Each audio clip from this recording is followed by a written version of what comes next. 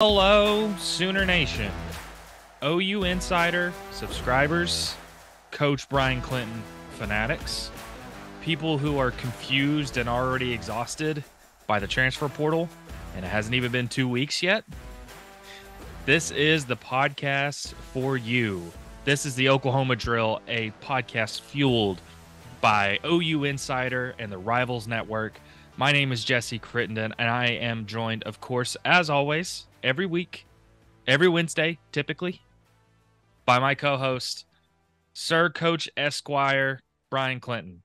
Brian, is it getting cold up your way? Is it getting cold at all? Cold. Hoodie weather. We got we got the hoodie on today. So we'll say we'll see you say that, but it's always hoodie weather for that's me. fair. Yeah. Every single that, day. That's, that is totally fair. I I retract my statement or rescind my statement. See, like for you, every day is like a hat day. For me, every day is pullover day. Well, I mean, every day is hoodie day. I mean, you know. I wish I could wear a hat. Uh, I've tried several times. Um, but whether it's the fact that my head is massive or oddly shaped, I have Adam Sandler syndrome, I think, with a, with an egg shaped head. Um, hats don't work for me. Is there a tip? Is there a secret?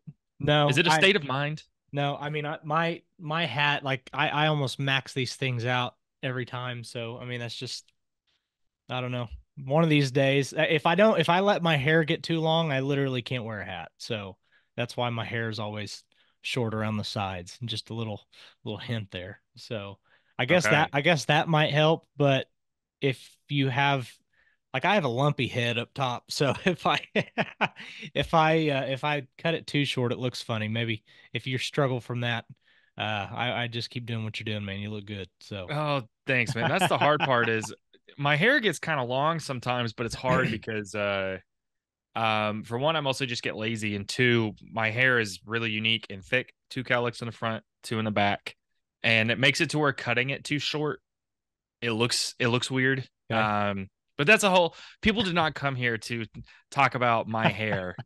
uh they came here to listen to us talk about Oklahoma football primarily. And Brian, it uh, the chaos never really stops in Norman, Oklahoma. And as soon as you think everything's kind of settled and everything's fallen into place, something else changes. And there we've gotten a couple of examples of that. The first one being Danny Stutzman, after there being some confusion about whether he was going to stay or go, he's here. He's he's here to stay for one more year. You and I talked about that in an emergency pod on Monday. But Brian, the bigger thing, the one that I think has really sent shockwaves, is Cayden Green entering the portal. True freshman, offensive lineman Cayden Green, for now, looks like he's potentially set to leave the program. And it was particularly crazy because Brian, we were out, uh, you know, so it was open practice yesterday at OU. The media got to come in for 25 minutes and we were just sitting, you know, uh, you know, we were just walking around. Oh, Jackson Arnold's quarterback one. How's it, you know, how's he look? Oh, there's Seth Luttrell. Oh, Danny Stutzman. It's in uniform. He's on the field. Uh, you know, Joe John Finley looks like he's taking a bigger role in the offensive drills. A lot to look at. What freshmen are are standing out? And as I'm as I'm walking out, someone says to me, or one of the reporters said to me, Cayden Green just entered the portal. Caden Oh. Green, the the le- the true freshman left tackle, Uh-huh. potential future NFL draft pick, Cayden Green. Is that who we're talking about? Something that nobody I think could have seen coming, and I know you do the same thing as I do, as other people do. That when you get to the end of the regular season, you look at the roster, what players are likely to enter the portal, what players are likely to declare for the draft, who's staying, you know, who's staying put. I don't think Cayden Green was on anybody's list. Nope. Um, nobody. I don't think anybody could have seen this coming. And and Brian, I don't want to speculate too much about why this has happened. Um, and we also don't know what's going to happen. We really, we still don't know what's going to happen. But from a broad sense, what was your reaction to Cayden Green entering the portal, and and what does this what does this mean for Oklahoma? Well, my initial reaction, I kind I kind of just got sick to my stomach a little bit, and not necessarily for for what for Oklahoma's sake, but just for the reality of just what college football has kind of become over the last couple of years. Don't know really why, um, for for for sure why uh, Cayden Green decided to enter the portal, but I think we've just reached a point where for coaches it's just really tough to know what you're going to have going into not just next season but but the bowl game from practice to practice almost. I mean it's it's it's a really tough uh, situation to to put a coaching staff in to put a roster in. Um and you know I, I think everybody obviously you have to look out for yourself uh in, in every situation and and that's that that goes for players and coaches both uh, so it's just a tough situation. I, I as much as Cayden Green has been outspoken um, with with his his affirmation for Oklahoma and, and for the Sooners, and it just it just feels so out of left field. I, I I don't know. I don't really know what to say. Shock and awe was really like the the the best way of, of putting it. Um, what it means for Oklahoma it means you need you need some guys to to step up and and fill that other spot. I mean, now you're you're losing five starters. I mean, yeah, Jacob Sexton did start the last couple of games at right tackle, but you know, Tyler Guyton was the guy there. I, I think that it it really just puts more it puts more of an emphasis on on Oklahoma having to hit, as we spoke about last time. You have to hit on your portal additions this this time around. They can't just be depth pieces. And unfortunately, you're going to need to go and and get guys that are ready to contribute right away on the offensive line because some of the defensive lines you're facing next season I just just off the cuff Ole Miss, LSU, obviously Alabama, Texas, uh, you've got I mean, Auburn's on the list there, Missouri. Uh, yeah, I mean Tennessee. Yeah, you're you you've got really stout defensive lines that you're going to have to face.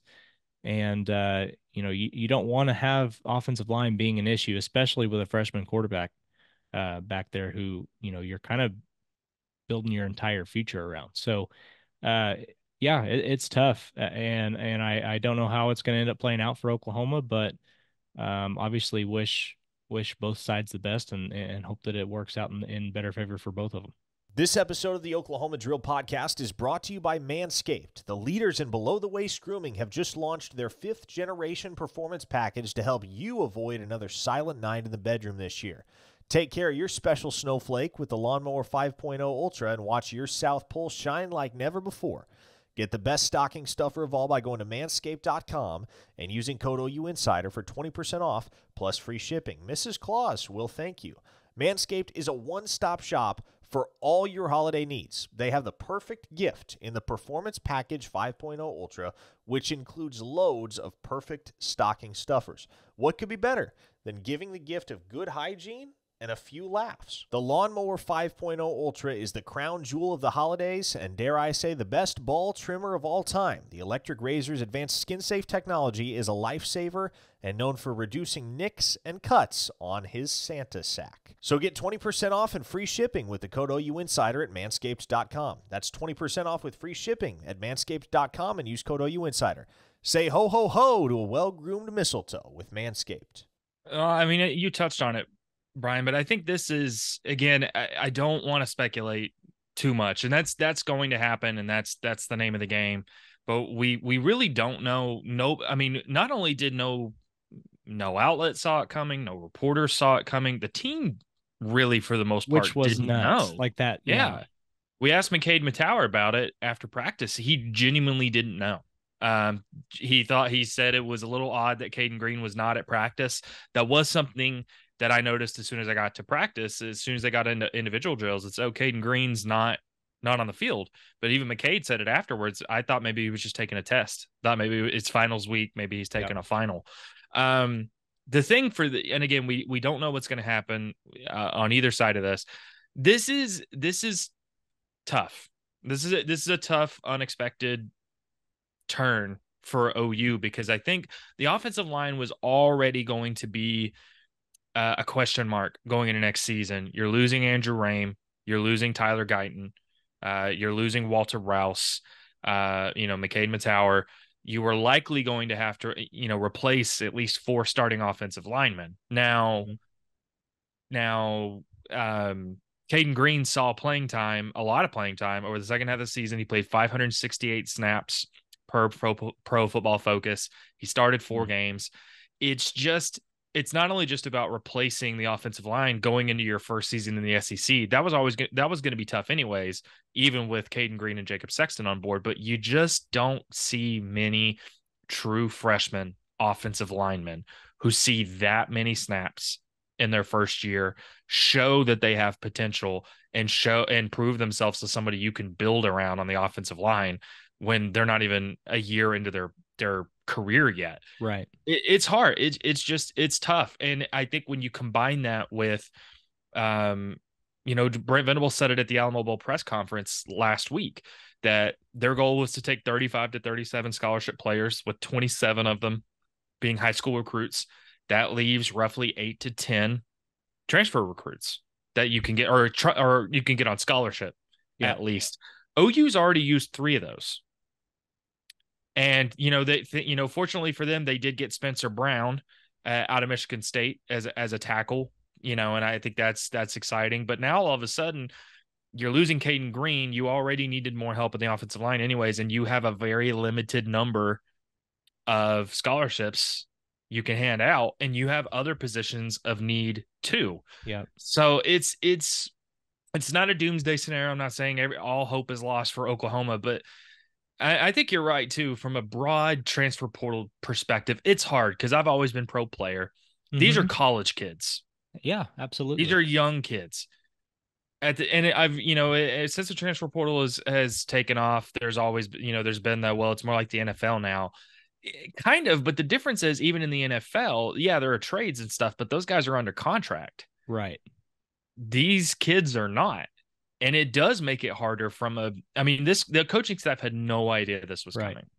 Well and and there's nothing really keeping him here if he doesn't want to be here and again we don't know what happened and i am pro player but right. it, it does make it hard from a team building perspective it just does. Right. Well and i want to make that perfectly clear that i i am pro player as well. This you know i think nil is a great thing i think the transfer portal is a great thing. Unfortunately the minimal regulations on both of those things. We we have a minimally regulated version of NFL free agency now.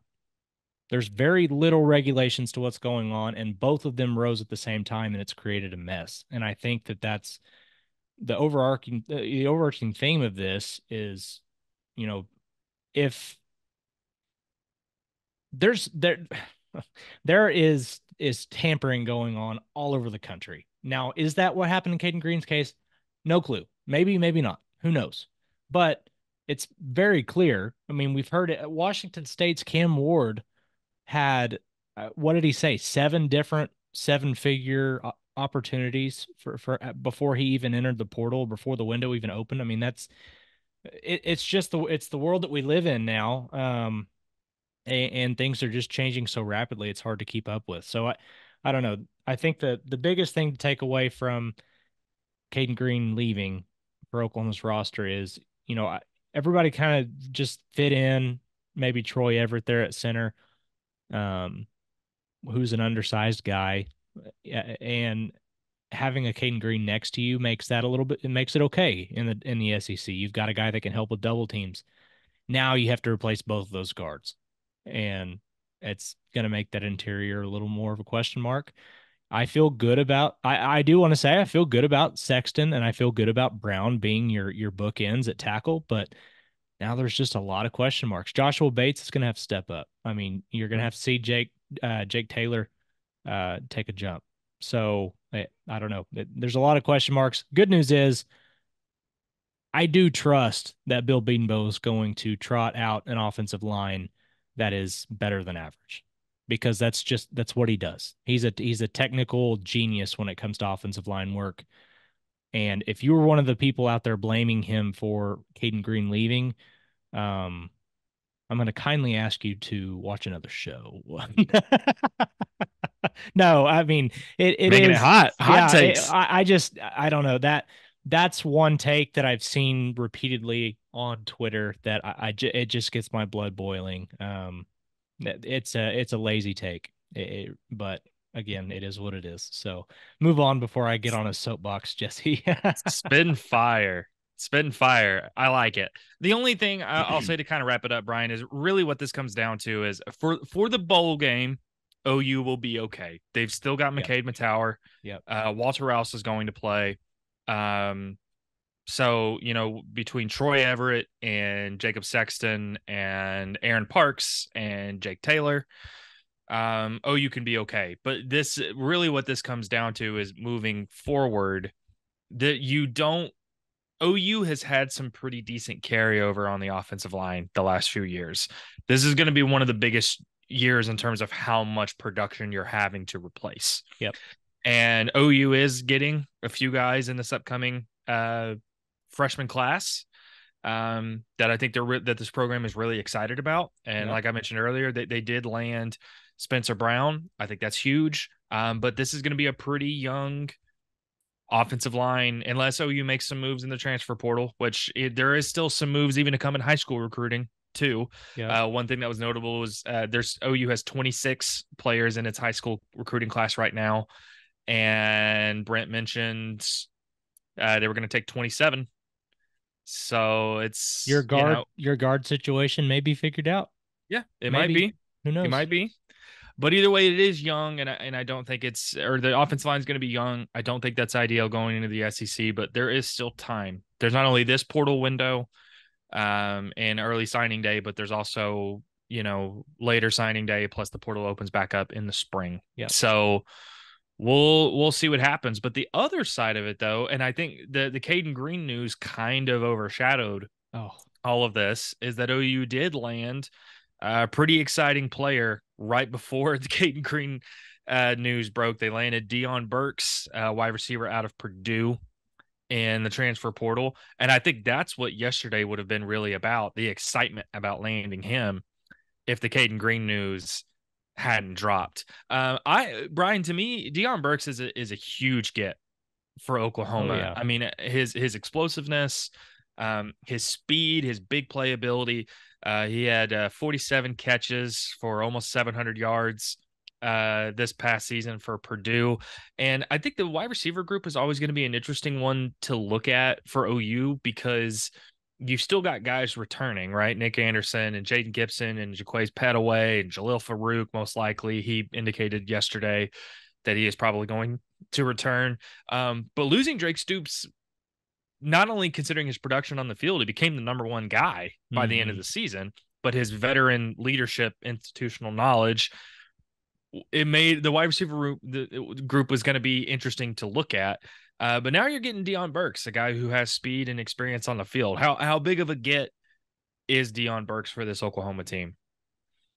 It's huge. It's it's really big. Uh, this is this is your slot guy going into next year. Um, what what Stoops brings off the field is just as big as what he has brought on the field this year. And I think that that's still going to be something that has to be replaced. I mean, there there's going to have to be the leadership on the offensive side of the ball on the field is going to be a big question mark because you don't just lose Dillon Gabriel obviously your quarterback's typically your leader, but you lose Andrew Raym, who was the leader of the of the offensive line room there. Uh, you lose Drake Stoops, who again was just one of the the bigger team leaders and a guy that that that showed by example. So you know, leadership is is going to be a thing, but I I think as far as production goes, I mean, my goodness, you've got you've got more you've got more tools for Jackson Arnold to work with than than he'll ever need. Um, you know, Burks is a guy that eh, he's just extremely twitchy. I know that, that that's probably like a an overused term uh, whenever it comes to recruiting analysis, but this guy has twitch like that. You can see it in his in his route running. Um, you can see it in, in some of the plays that he makes down the field. I mean, just go watch his 2023 highlights. There's a there's a just go look it up on YouTube. Um, his very first highlight of the year is like an 84 yard uh, touchdown against Fresno State, and you know there there are several times where he's making plays on the ball in the air downfield, and he's just a really good athlete. I think that if if I was to be a fly on the wall in that discussion between he and, and Emmett Jones before he committed, I just imagine him saying, "Look what Drake Stoops did in this offense, and we need somebody to fill that role, and and and we'd like you to fill that role." Um, and I think he he saw that and and was like, "Deal, let's do this." Um, he he's going to be really really good in this offense if he's utilized properly, and I think what it does is a guy like that. I, I do think Devon Mitchell is going to come in and be a really good tight end for Oklahoma, and then whoever they land in the transfer portal obviously is going to help too. But I think a guy like that maybe alleviates some of the issues that that you might have if you have a lack of depth at, at tight end. That's a guy that um, can really work the middle of the field in the passing game. So um, really good get for the Sooners, and and Emmett Jones just continues. Is it is it even a heater anymore, or is he just him? I, th- I think He's he might just be. It, I think he might just be him now. Like that, he's just incredible. Emmett Jones has been killing it, man, and, and and really to hammer that home. I mean, Brian, he Deion Burks led Purdue in targets by a lot 96 targets uh, this regular season, according to Pro Football Focus. The next closest, 47. So he doubled the next receiver in targets, or next closest receiver in targets. Uh, led this team in receptions, led him in yards, led him in touchdowns with seven. Um, but it's interesting, Brian, because I mean, he's he's five. He's listed at 5'11", 195. Um, but according to Pro Football Focus, which tracks where you know players eh, or wide receivers line up, uh, and uh, on any given play, he did play uh some in the slot, but he spent a lot of time split out wide. 415 snaps split out wide. Wow. My first thought was, oh, though that's your that's your slot guy to replace Drake Stoops, and I think that's certainly something they'll probably look to do. But it's interesting because he has experience playing out wide. Mm-hmm. And Andrel Anthony, we don't know what his recovery time still looks like. Plus, at the slot, you still have Jaquaize Pettaway, you have Brenen Thompson. I think it's going to be interesting to see how they use Deion. Mm-hmm. I'm curious, do they put him at do I mean, do they put him at the slot? Do they split him out wide? How does that work with Nick Anderson, Jalil Farooq? What does that mean for the slot receiver position? Uh, obviously, Jayden Gibson still in the mix out wide. I'm pretty curious to see how they utilize him. Yeah, because um, he's clearly very, very fast. He's not super big. He's not super tall. Um, seems like the slot would be where he would make the most sense for Oklahoma, but he also has played out wide. I, I don't. I mean, and because the other side of it is Jaquaize Pettaway seems like a guy that's that's ready to. I mean, he showed flashes this year. Like, I think he's a guy that could come in next year and yeah. play. But what if Deion takes snaps from him, him in the slot? Do, do they do some reshuffling? Mm-hmm. Uh, what is your perspective on that?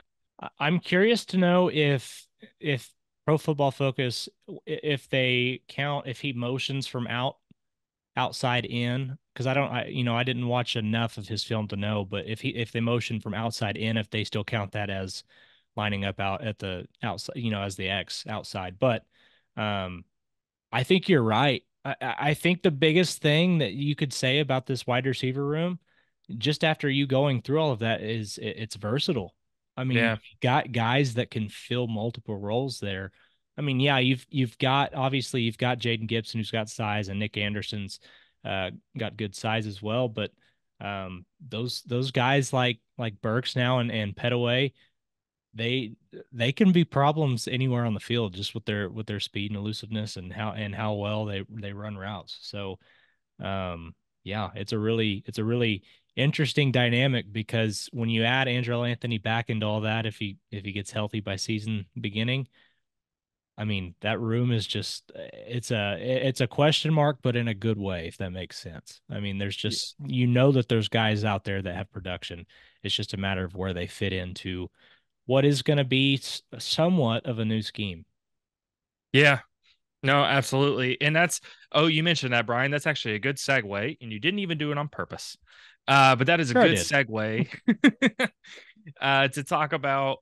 Uh, I just kind of wanted to touch on uh, practice yesterday. After practice, we got to talk to um, several different players. We got to talk to Danny Stutzman, got to talk to Billy Bowman, and talk about you know their decisions to stay and what all went into that. We got to talk to Jalil Farooq, uh, McKade Mettauer, got to talk to Gentry Williams, got to talk to most importantly, I think Jackson Arnold, who obviously the true freshman quarterback is playing or is is the is the guy now with Dillon Gabriel officially uh going off to Oregon. I guess we could have talked about that. Dillon Gabriel.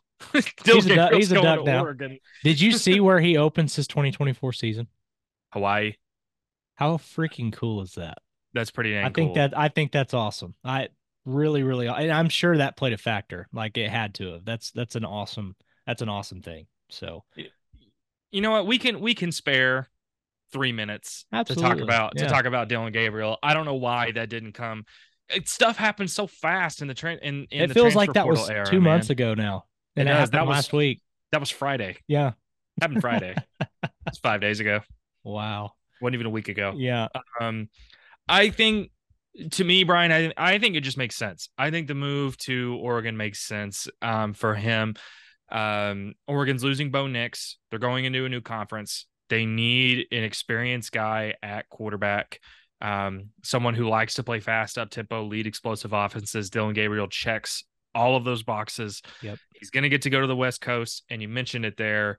Um, going to Hawaii for the season opener, uh, big thing. I think that's going to be super, super cool for him.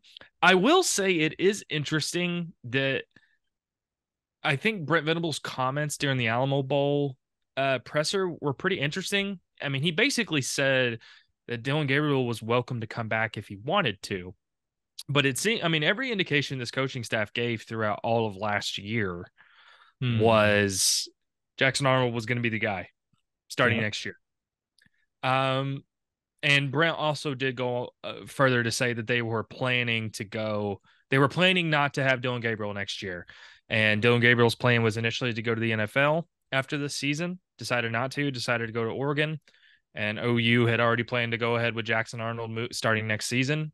That has all come to pass. But I don't know. What was your reaction to him going to Oregon? And it, was it was it interesting to hear Brent kind I mean to Brent outwardly say Dillon could have come back if he wanted to. I'm not trying to stir up any. It's just it's just interesting. It's an interesting it situation. No, absolutely it is. I I think I think you have you have a situation with let's let's play the hypothetical if if Dillon was to come back. I think you have a situation where you've got a guy with an immense amount of experience and a lot of a lot of things that he has honed over over his career in college. And on the other hand, you've got a guy that is more talented than he really even knows what to do with at this point in his life.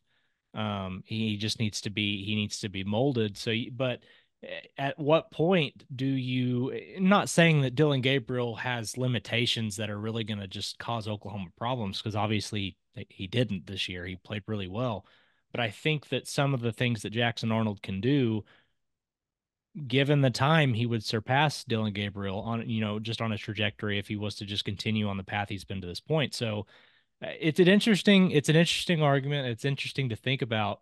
And I did think it was it was a kind of a take it taken aback, like I was taken aback a bit when I heard when I heard Brent say that. So, um, yeah, it, it is a it is an interesting thing to think about. But I think Oregon, as you just said, I think it's a fantastic landing spot for for Dillon Gabriel. I think it's awesome that he's getting to go to the place where one of his mentors uh, or somebody he looked up to, Marcus Mariota, um, being from Hawaii, he just I, I think it's so cool. And it's kind of one of those things where this is a guy that has he's done it all. I mean, I think he's he's what 135 yard yards short of 15,000 career passing yards.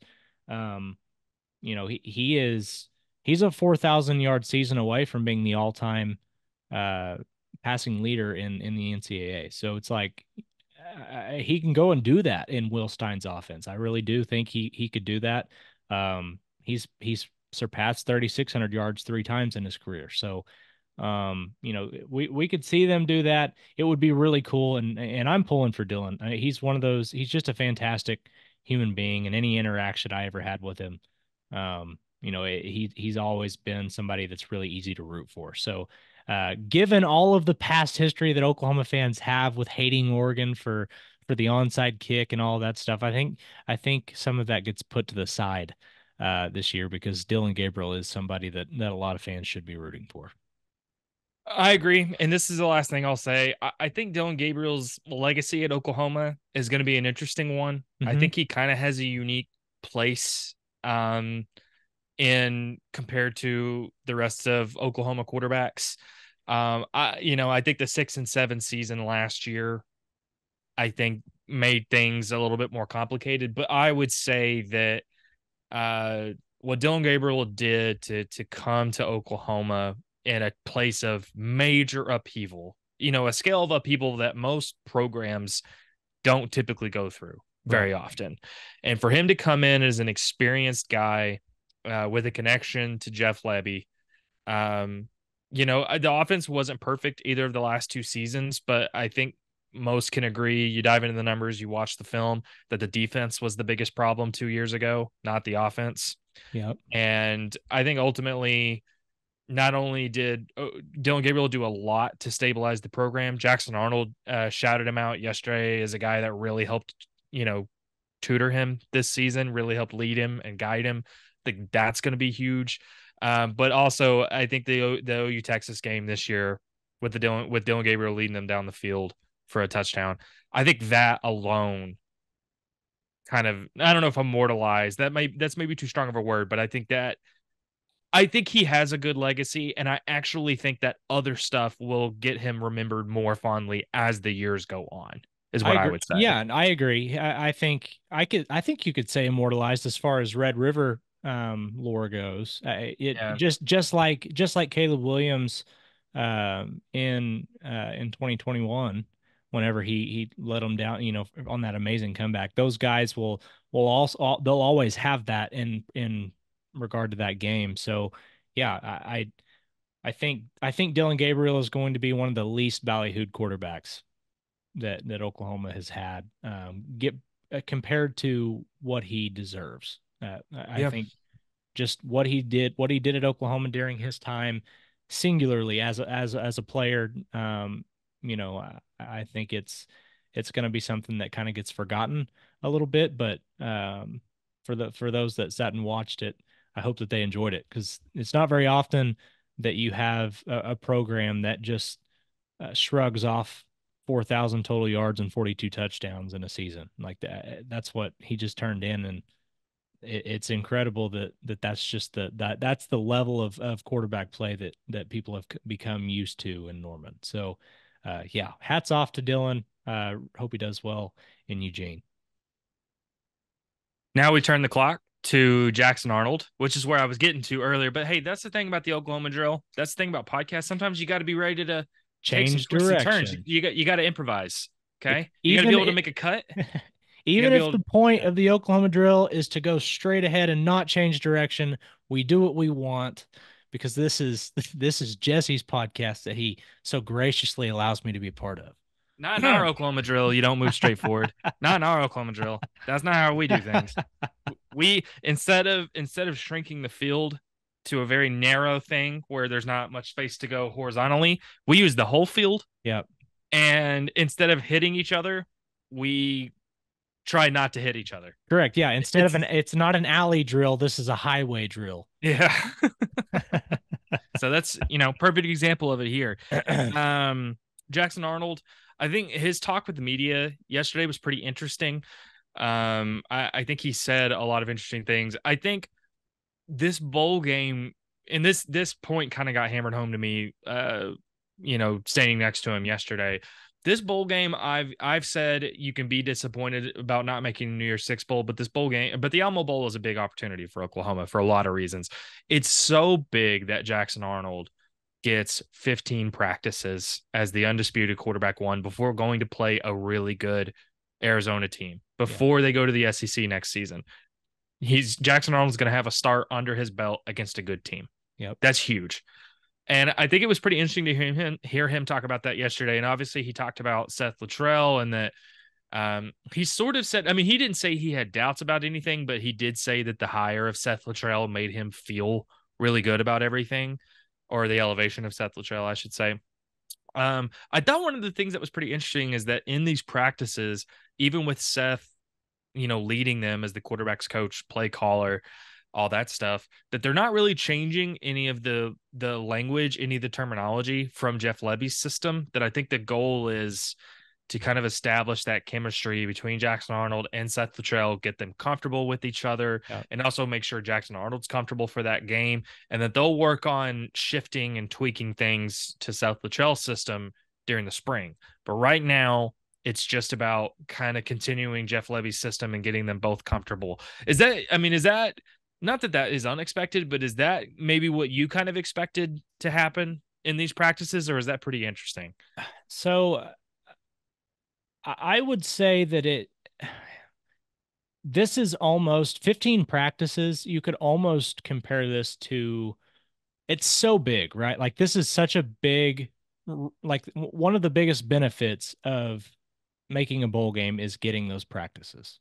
Like if you don't have those practices and you're done, if you're sitting at home right now, you've got to wait until spring to yeah. to put anything in or to to practice anything. For for him to have 15 practices to work with Seth and get used to one another, it's it's huge. Um, you're getting you're essentially getting two springs to do it, um, and so it's I would say people expecting something totally different than what we saw from from Jeff Lebby as far as a system goes are going to be disappointed because they're similar. Uh, they just are. It's everybody everybody who runs the spread that there's jet sweeps in the spread. I, I, hate to tell you that. There's there's screens in the spread. Again, that's just how it RPOs. works. RPOs. Yeah, it, this is all stuff that you're going to see and continue to see until something else comes along in 10 years and makes this obsolete. But for now, that's just how this is. That's how it goes. And so I do think that, you know, that was the the benefit of elevating a guy like Seth Littrell is that – the terminology is relatively consistent. You're going to be able to he's he's going to have some things that they have to change a little bit and tweak. Um, but it, it is a good thing that that Gabriel or excuse me that that Arnold has had this uh, this system uh, kind of driven into his mind since last spring, and he's he's still uh, he's getting first team reps, first team coaching now um, for the first time, and and I think that that's that's uh, going to be a benefit for him in the long run. And the terminology stuff, it, it may switch up a little bit in the off season, but you know, I, I, think with everybody being on the same page and keeping that consistency, uh, it's that's probably one of the bigger reasons why Littrell was the guy. And so I, I think that that's going to be a benefit a benefit for them uh, going into next year. There was one quote I wanted to highlight yesterday because you kind of said, I mean, the value of him getting first team reps, first team coaching. This was pretty interesting quote from him yesterday. I want to read it verbatim because I don't want to twist it. Uh, the question was basically, is it more exciting now that you know your quarterback won? He said, no doubt. You know, practice, you have to practice, but as a backup, it does kind of suck a little bit coming out knowing you're not the guy and you're taking less reps. And there's obviously a bigger excitement level coming out knowing that you're the guy and you're going to go out and play. So I think that's you know, I think it's a pretty interesting quote. You know, I think he I think he knew the the entire time he was going to sit behind Dillon Gabriel this year, but I think in his head he's been waiting for this opportunity yep. for a while. And that's to me what makes the Alamo Bowl uh, a really big opportunity for him and, and I think a pretty exciting one for fans. The yeah. the other thing I was going to mention is eh, obviously I mean Tawee Walker was on the field and obviously the the running back uh, announced a few days ago that he was going to enter the transfer portal, but he is still on the field. Um, I think, I mean, with with all indications that he is going to be available for the bowl game. That's why I take it back to the Cayden Green thing. Is I think now most of the time a player enters the portal, they leave, right? Mm-hmm. But not every time there's a lot of outcomes that can happen when a player enters the portal. Or I, I, think it's easy to think, well, once they enter the portal, they're gone. Like they're they're officially away from the team. Right. Tawee Walker's still here. Tawee Walker is a walk-on, has been a walk-on since he arrived on campus. All I'm gonna say is I think it's pretty interesting that he's still on campus. I think that's pretty interesting that he's still in the bowl prep. Now it is very, very possible that he just wants to finish out this year the right way and then he can he can go look at offers otherwise. But it is also a pretty risky proposition if you want to enter the portal to not do it and try to find a team now, because the difference in what's available now compared to three weeks from now could be significantly different. Mm-hmm. But that's I just wanted to kind of mention that, not even really for discourse. I just kind of wanted wanted to mention that. Um, the other thing, or I mean, the last thing I was going to kind of ask Brian is is outside of Jackson Arnold, who we all know this is a big thing you know, it's a big opportunity for him this bowl game. Danny Stutsman's back, Billy Bowman's back. There's a lot of freshmen who are going to see more opportunities because of the guys who've entered the portal. Who's maybe a guy offensively or defensively or both that you think these bowl practices is not only a huge opportunity for them, but the bowl game could be an opportunity to raise their stock? Because you look at Jalil Farooq, the Alamo Bowl two years ago was huge for him. Mm-hmm. He didn't really play most of that season, had a big game against Oregon, then became a starter. Is there who who on this team is a guy that could have that kind of trajectory? So I've been thinking about there's there's been a trio of guys on offense. Um, not that I knew this question was coming, but that it's something that I've been thinking about, especially with Cayden Green leaving. Joshua Bates is a big one. That's a guy that's got to have a role um, and, and, got to uh, seize the role and run with it. So that that's one. That's an easy one. And then you know, with Tawee Walker, it kind of throws this one off a little bit, but I think Jovantae Barnes and Caleb Hicks, just because the running back room next year is just is going to be deep. I mean, it's just there's there's going to be uh, you're you're adding Taylor Tatum. Um, you know, there's there's a good chance Oklahoma's adding somebody in the transfer portal pretty soon. You know, you've got some some really good pieces there already. I think one of those guys, you know, we've seen what Jovantae Barnes can be whenever he's healthy. Uh, this is the best chance he's going to have had to be healthy. So uh, I, I, think that those are two really big pieces. Um, defensively, who is who's the guy that's going to step in next to Danny Stutsman? Like, is is Kip Lewis going to solidify his hold there? Uh, is is Jaren Kanak going to be able to get things back on track and be the guy that everybody had hoped he was going to be?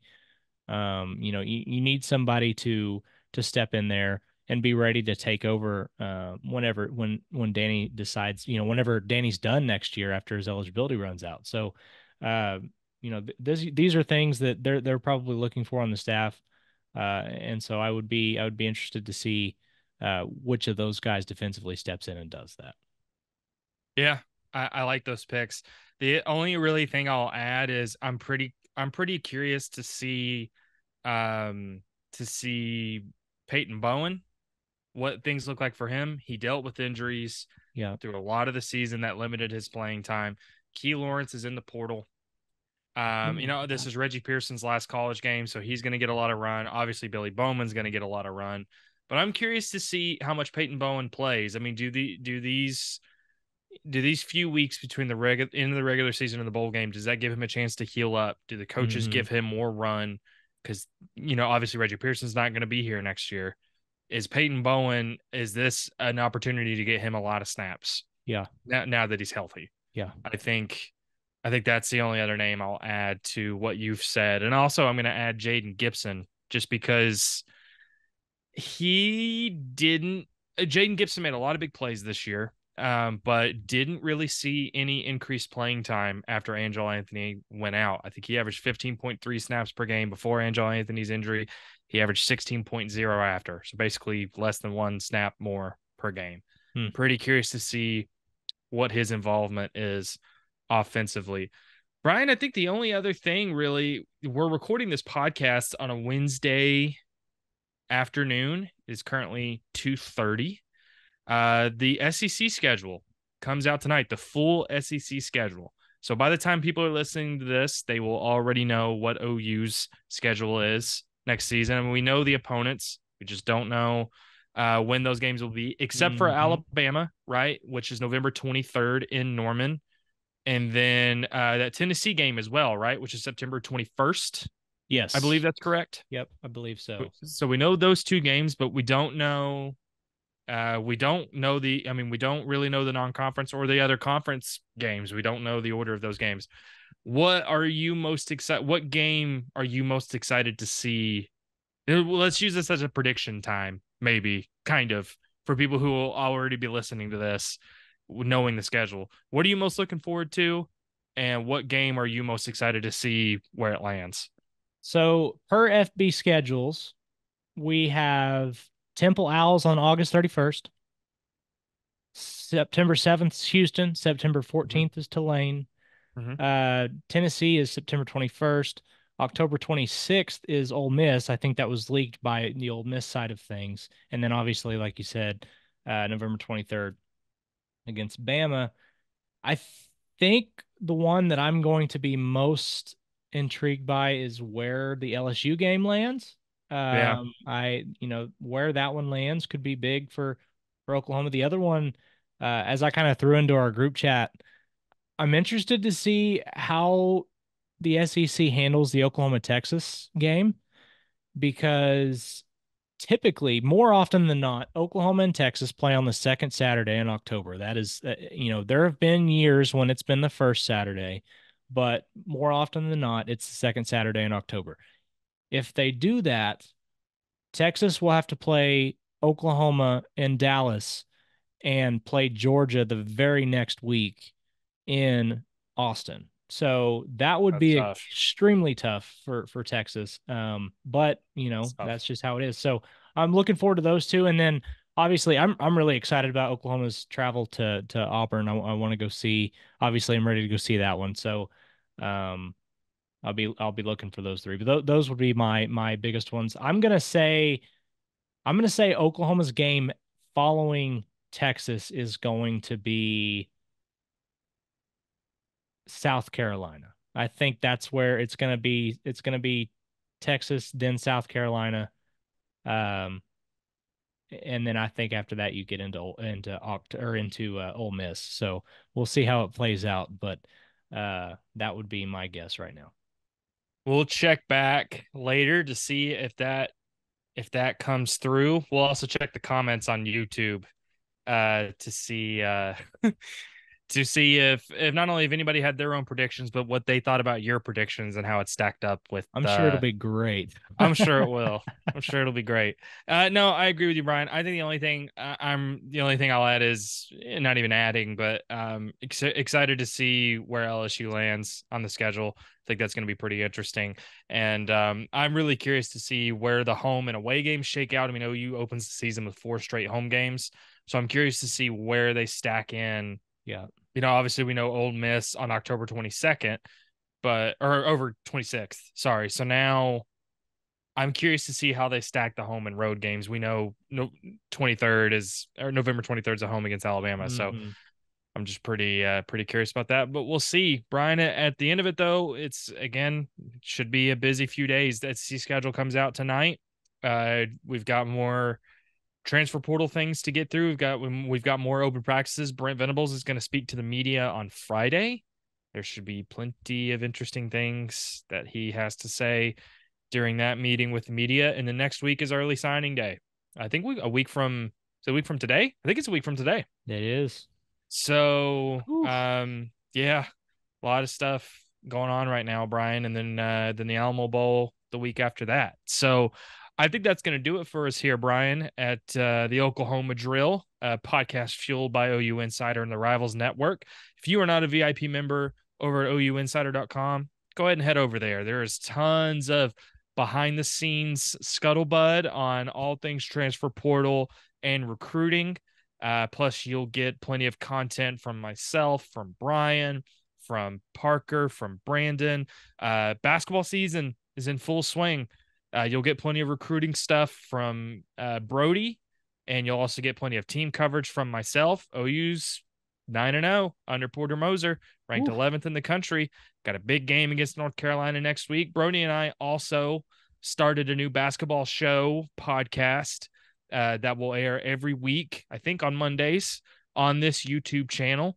That is just one of several offerings we have here. In addition to the Oklahoma drill, we have the Quick Slants video series with me and Parker. We have the Under the Visor podcast. We have the Field Vision series provided by yours truly, Brian Clinton. Uh, so if you don't feel like going over to OUinsider.com just yet, even though you should, You can always like and subscribe to this YouTube channel to get everything we're offering content every single day of the week. Brian, I'm a little bit scared about what's to come in the next few days after what's happened the last couple days. We'll see. Before before we leave, I need to give you 20 seconds unabated. Okay. How happy are you that the Thunder are remaining in, in Oklahoma City for the next you know, for the foreseeable future? I'm really glad you mentioned that. Uh, I'm ecstatic. Um, now, I'm not going to look. I, this is always complicated for me because I'm not saying I don't understand maybe the pessimism over the vote or the no Mhm. votes. I get that, and I do think there are things that we can do. uh, You know, that's a whole that's a whole other discussion. At the end of the day, what the Oklahoma Thunder, what the Oklahoma City Thunder has done for this for Oklahoma City, what it's done for the state is completely transformed Yep. everything. It is so big that we have an NBA team. And couple that with the fact that this team right now has the brightest future in the NBA. They're the second seed in the West, a true blue superstar in Shai Gilgeous-Alexander, and a bunch of exciting young guys. It's hard. I'm not gonna gloat. I'm not gonna I'm not gonna brag too much, but I am excited that this passed. I'm excited that the Thunder are here to stay for another 30 years. I'm a huge, huge Thunder fan, like huge, huge Thunder fan. I watch every game, so this is it's pretty exciting for me. So thank you for thank you for giving me the unfiltered time there, Brian. I appreciate Yeah, that. no, I agree with you 100%. It's exciting. So, Well, that's some good news. Maybe Oklahoma will have some, maybe Oklahoma will have some more good news heading its way. But until then, Brian, we'll be here to break it all down on the Oklahoma drill next week. Thank you for everybody for tuning in. We'll see you next week.